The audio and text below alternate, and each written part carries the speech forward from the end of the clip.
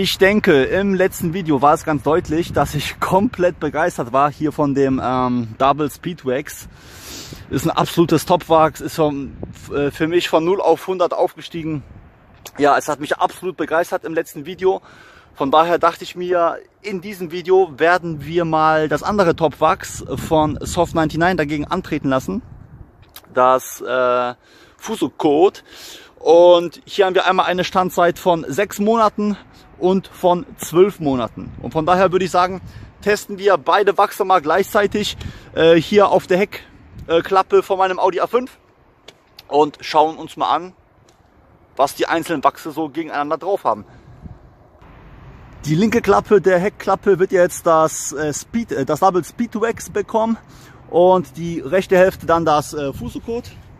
Und ich werde hier auch versuchen, die Mitte einzuhalten. Und wie im letzten Video auch, werde ich hier das Double Speedwax im Kreuzstrich auftragen. Und das gleiche mache ich dann auch mit dem Fuso-Code. So, ich nehme euch mal ein bisschen mit auf die linke Seite der Heckklappe. Also für alle, die das letzte Video nicht gesehen haben, ich war absolut angetan von den Double Speedwax hier. Das ist das neue, ja, ich nenne es immer Topfax, aber das ist es auch für mich. Es hat mich sowas von überzeugt. Also das Beating-Sheeting-Verhalten war so extrem auf dem Autolack, dass ich ja aus dem Schwärmen nicht mehr rausgekommen bin. Von daher, ähm, ja, schauen wir uns mal an, was das Fuso-Code dagegen so anrichten kann. Und das Double Speedwax ist jetzt hier links aufgetragen. Jetzt machen wir rechts Deck weiter. Für alle, die das Fuso-Code nicht kennen, das sieht so aus, in so einem, ja, Mint, so einer mintgrünen Farbe, würde ich mal sagen. Ähm, ist auch ein richtig gutes Wachs, aber hier gibt es deutliche Unterschiede, die ich euch gleich noch darstellen werde. Und auch das Fuso-Code tragen wir jetzt im Kreuzstrich auf.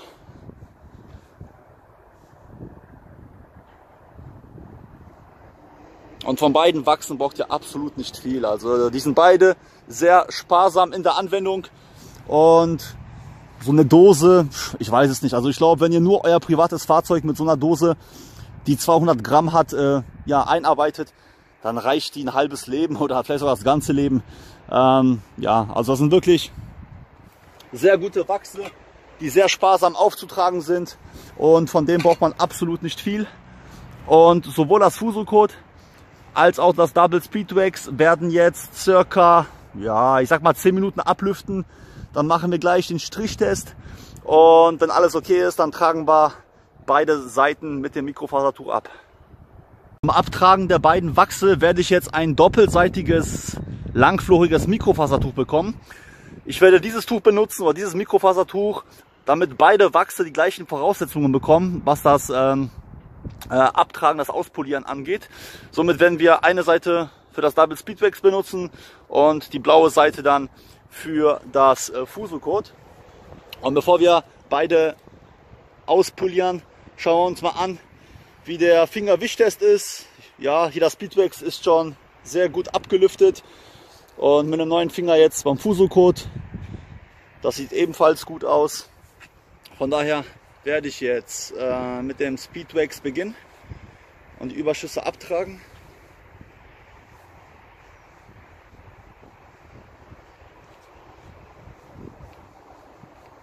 Das ist mir auch schon im letzten Video aufgefallen. Also beim äh, Speedwax geht das ganz, ganz leicht mit dem Abtragen. Also die Seite ist jetzt schon hier sauber auf der äh, linken Heckklappe.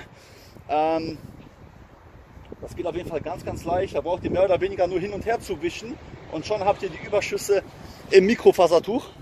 Da schaut euch das an. Ganz, ganz leicht. Und wenn ich jetzt zum Fosocode rübergehe, da mache ich jetzt mit der blauen Seite weiter. Und schauen wir uns das mal an.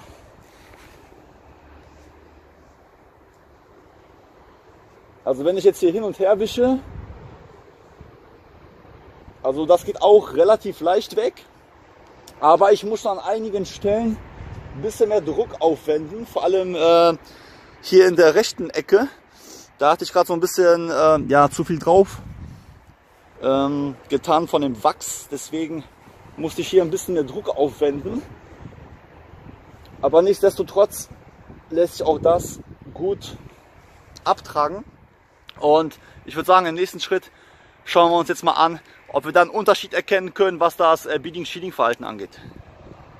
So, meine Sprühflasche ist bereit. Äh, ich würde sagen, wir schauen uns jetzt an, was beide Wachse so ja, im Duell gegeneinander so drauf haben.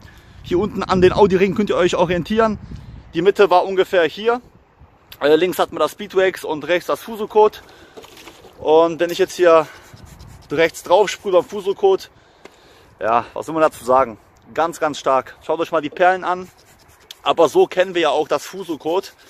Ähm, absolutes, hochwertiges Wachs. Gefällt mir sehr, sehr gut. Und wenn wir jetzt links beim Speedwax mal drauf sprühen, haben wir genau das gleiche Bild. Schaut euch mal an, wie schnell sich die Perlen hier bilden, die Wasserperlen. Und dann laufen die auch relativ schnell runter. Also genau so, wie es sein muss. Ja. Also vom, äh, von der Perlenbildung ist da absolut kein Unterschied. Vielleicht könnt ihr ja noch irgendwas erkennen. Also ich sehe auf jeden Fall nichts. Beide absolut gleichwertig. Und ähm, hier könnt ihr das auch immer schön sehen, wie jetzt nach und nach die Perlen weiter runterziehen. Und beim Fusocode genau das gleiche. Und gleich hier oben werden die nächsten wieder abgehen. Also ist der absolute Wahnsinn. Also was diese Wachse drauf haben, da bin ich immer wieder von begeistert. Und wenn wir jetzt hier mal das Wasserablaufverhalten testen, ja, sowohl rechts als auch links. Also da ist kein Unterschied. Da schaut euch das an. Wenn ich jetzt mittig drauf lege oder relativ gleichmäßig drüber ziehe, dann sind beide Seiten komplett gleichzeitig abgelaufen. Ja, ja also beide Wachse komplett ähm, gleichwertig vom äh, Beading-Sheading-Verhalten. Gefallen mir sehr, sehr gut. Ähm, hier ist jetzt die Frage, also es kommt immer stark darauf an, was ihr erreichen wollt. Ähm, beide Wachse kann ich euch so, wie sie hier jetzt aufgetragen worden sind und so, wie ich sie kenne, komplett empfehlen. Das Double Speed Wax ist für mich, ja, vielleicht sogar an erster Stelle. Es hat folgende Vorteile. Ähm, es lässt sich sehr leicht auftragen und auch wieder auspolieren. Ähm, und ihr habt keine Wolkenbildung. Also falls ihr mal an irgendeiner Stelle ein bisschen zu viel Wachs auftragen solltet, bilden sich nicht so schnell Wolken auf eurem Lack, beziehungsweise gar keine. Also ich konnte da keine feststellen. Das sind die Vorteile von den Double Speed Wax und es hat eine Standzeit von sechs Monaten, also ein halbes Jahr, was auch absolut hochwertig ist. Beim Fusocode dagegen, ähm, ja, das Auftragen ist auch relativ leicht, aber beim Abtragen gibt es oft Schwierigkeiten. Ähm, eben da rechts in der Ecke äh, musste ich auch schon ja, ein bisschen mehr Druck aufwenden, damit ich auch die Überschüsse abbekomme. Ähm, und wenn ihr dann so das ganze Auto mit dem Fußcode äh, wächst, dann kann es schon sein, dass ihr, wenn ihr jetzt nicht unbedingt sportlich seid, schon ein bisschen ja, an eure Konditionskräfte gelangt. Ähm, ist auf jeden Fall ein bisschen aufwendiger hier das Fusocode. Nichtsdestotrotz, das Fusocode hält ein Jahr. Also wir haben hier einmal ein halbes Jahr und ein ganzes Jahr, was die Standzeit angeht. Dann müsst ihr auf jeden Fall selbst entscheiden, was euch besser passt. Ich bin von beiden absolut überzeugt und begeistert. Ich benutze beide für die Fahrzeuge, die ich immer ähm, ja, aufbereite oder wachse. Und momentan führt bei mir hier dieses David Speedwax, weil er so, ja, so ein Newcomer ist aus England, der alle überzeugt. Von daher, ja, verwende ich beide Wachse im Tausch, wie ich ja, lustig bin, wie wonach ich gerade Lust habe. Ähm, ihr könnt auch mal gerne in die Kommentare unten schreiben, unten in die Kommentare mal bitte schreiben, welches Wachs ihr bevorzugt.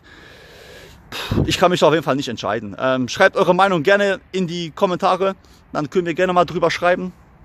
Und ähm, ja, bei beiden Wachsen seid ihr auf jeden Fall an der richtigen Stelle.